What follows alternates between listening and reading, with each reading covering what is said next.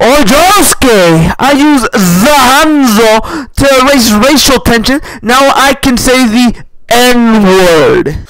Smokey, cover your ears!